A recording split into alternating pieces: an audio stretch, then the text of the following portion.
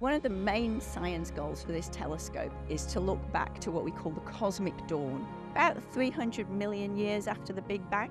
What we're hoping to do with this telescope is to map the universe to help us understand the birth and death of those first stars and galaxies and how the universe evolved.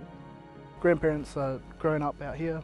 Grandfather was born on um, Station, so yeah, there's um, cultural imprints out here with um, my ancestors. I'm just stoked to do it.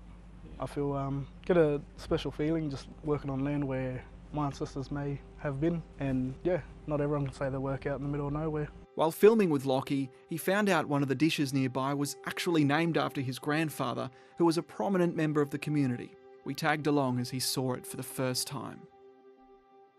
Yeah, his nickname, yeah.